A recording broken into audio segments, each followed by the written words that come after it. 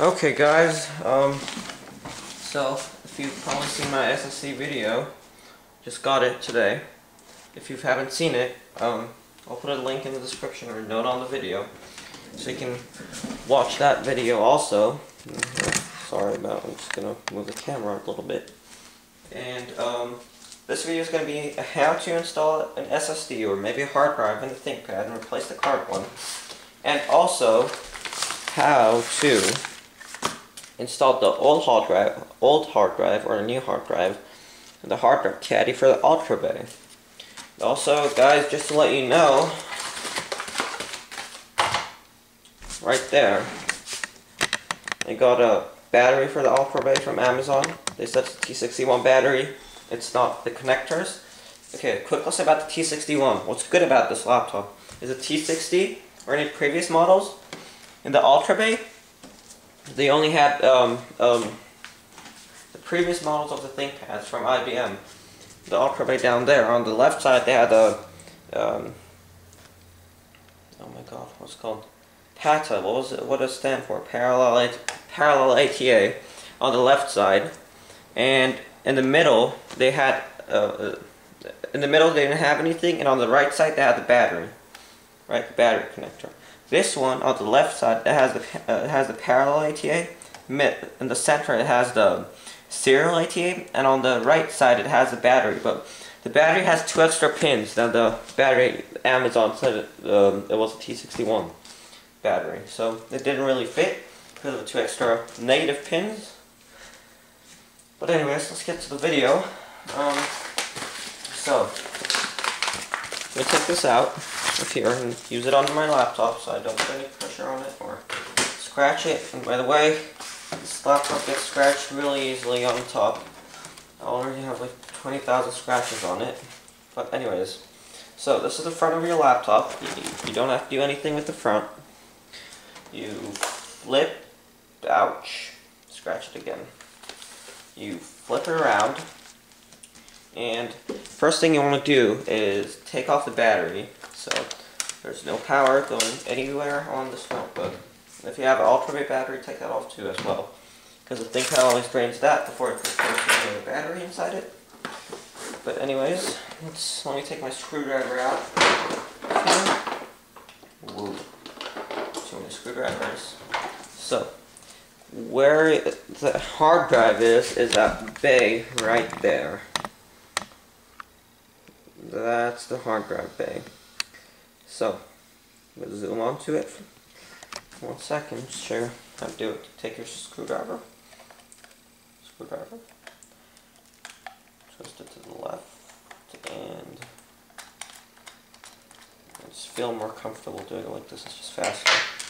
Once you're done unscrewing it, keep the screw in a safe place. And take the lid, just push it up. Hmm, there we go. So it's out. And then you see this thing here. Just pull that out. Take it and pull the whole whole hard drive out. Okay, these two, you don't need these two. These are for the SSD. If you want, these are these are for this bay right there. So take these off. Keep it close to the door so we can put our SSD in it. And here, let me zoom out. This is the hard drive itself. And this is the caddy for that base. So we want to take this caddy off also. Uh, okay, to put our SSD in, because we're not going to be needing that anymore. So what we did was we just pulled it out, took these two off the sides, and we're left with the hard drive, but it has, still has this like Lenovo caddy on it. So, guys, let me get my smaller screwdriver for the back of the room. Sorry about this inconvenience. I don't have anyone to film it for me or give me a hand here. So, um, get this. And let's see what type of screws are there. Let me get my screw here. And let's start unscrewing the screws on this thing. So again, me just take it off like that. Just take it off all four screws, two on each side. This um, caddy also helps. By the way, this is a Hitachi drive. ThinkPads come with Hitachi drives because of their reliability. And it's a 5,400 RPM, so it's not as fast. And um, this caddy on the bottom, well, if the ThinkPad drops, it has the accelerometer inside it that automatically shuts down the hard drive. And um, even though it shuts it down, you also have these rubber grommets that go around it and um, kind of um, absorb the shock. And even after that, you also have this, which protects it. Okay, not very much, but still good. So this is now a normal 5,400 RPM, two and a half inch hard drive. So first things first, let's um, put put these two aside and install the SSD and I'll get to how to install this in there later on in the video. So that's over there. We me get to the Intel SSD, the beast. Here's the Intel SSD. Uh, like I said, I'll put, um, I did a review on it. I'll have it there. Mm, by the way, I was thinking that it would have a much better quality to it when it arrived, like made out of better stuff, maybe like the brushed aluminum or something, but it wasn't, unfortunately. It's something cheaper. And this is, by the way, the 330 series, not the 530 or 520. So it might be my fault too for getting the 330. I didn't want to spend a lot of money on it because after all, ThinkPad only has, um, well, the lot of money was only maybe $15 more. But the ThinkPad has a SATA 1 after all. So no matter how much money I spend on an SSD, I'm not going to get any boost in my speed. And later on when I do a, oh sorry guys, a review on my desktop, you'll see the three SSDs that I have in there. And I'll test it for you in Atto. I don't know if you know about that or not.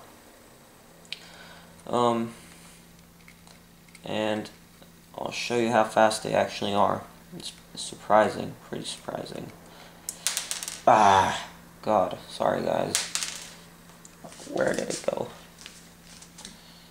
It would help a lot if these, um, the screwdriver I had here was magnetic, but it's not, so. So, there we go, guys. One last screw. Bear with me here. Uh, yeah, yeah, yeah. There we go. So, one reason I chose Intel was because of the reliability and um, Linus, Linus Tech Tips guy, um, did a review on it. He threw it in the basketball, nothing happened to the basketball hoop. Um, they're known to be pretty reliable, and it's on the desktop. I want to show off the looks, so I wouldn't really care. And as you can see, it's a 120 gigabyte one. Reliable for a reliable ThinkPad. And um, so SSD, secured by this metal thing, and SSDs are pretty hard to destroy, so we'll probably not even need these. And then also by rubber grommets on each end, so that's how it would end up looking. And then, this is how you insert it in the unit. So this is the back of the unit, and this is the top of the SSD. So technically it goes up upside down in the big. And since this is the new, brand new drive, it might be kind of hard to install. Maybe to push more. Oh, actually no, this fits in. Thanks to the guys at Lenovo and Intel, who really know what they're doing. Put the screw back. Guys, boom, we're done. Now that's only half the thing, half of the video we plan to do. So the SSD's installed, done. But what about the hard drive? You don't want to throw that away. So you get this hard drive caddy off Amazon, by the way. Uh, this is uh, sold by um, AZM Tech or something. I, did I think I did a review on it at some point. Uh, did I do it? Did I upload it? Yes, I did. It's in my ThinkPad batteries video. So it's something like AZM Tech. You can check that out. I'll put a link on the on the screen so you can check them out. And um, basically, you just put your hard drive in hard drive in there. Sorry, you guys can see that. Put your hard drive in there. Um, although this is not an original Lenovo one, It's an aftermarket OEM reproduction. It looks very nice and looks just like the Lenovo one would.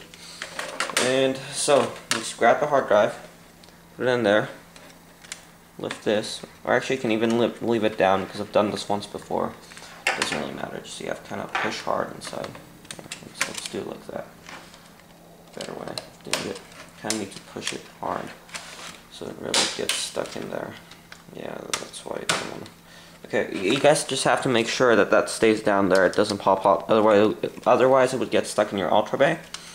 So, there we go. Now the hard drive in the caddy, right there, like this.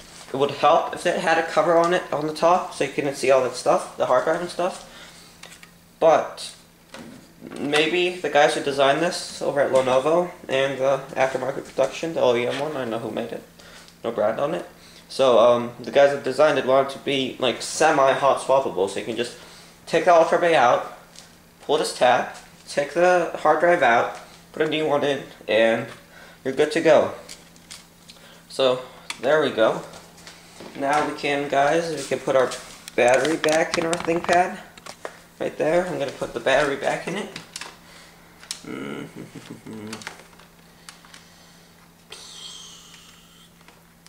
Yeah, like I said, I did a review on the ThinkPad batteries also. You can check that out. Uh, there we go. Get it off. There we go. So, now that we're done, um, the Ultra Bay is right there. You can see my original ThinkPad review see how a review on the Ultra Bay and the whole ThinkPad. So just take that out pop this in. Sorry if it's too zoomed in. Like that. And boom. I'm to repeat something from my batteries video again. When you want to buy this off Amazon from AZM Tech or something like that, but please check out my battery review also. It's a more in-depth review of the Ultra also. Um, I know it kind of sounded weird there, but um, People said that since it's an aftermarket reproduction, it doesn't quite fit well in ThinkPad, but you, you guys just saw it fits perfectly, better than the, the, the battery original from ThinkPad didn't even fit in it. It just goes in there, glides in there smoothly, and it's not perfectly flushed. It's a little bit, like maybe millimeter inside, but I don't know how that could be bad. It's good, and they have the hard drive light, and it feels just like the ThinkPad plastic. So nothing over there to complain about. And to pull it out, you just push this, pull that, and it's out. There we go. So, since I want to install Windows on it, I'm going to put this back on. Once I've installed Windows, oh, sorry, once I've installed Windows, I'll do another review on the boot time of this machine. So guys, thank you very much for checking this video out again. Sorry if the solid state drive video was a little bit shaky and stuff. Kind of in a hurry today. It's my friend's birthday, my camera guy. So I have like a doctor's appointment also. But thank you for checking this out. And please rate, comment, and subscribe. And my videos will get better in the future, hopefully, after I get a little bit of experience. Okay, thank you.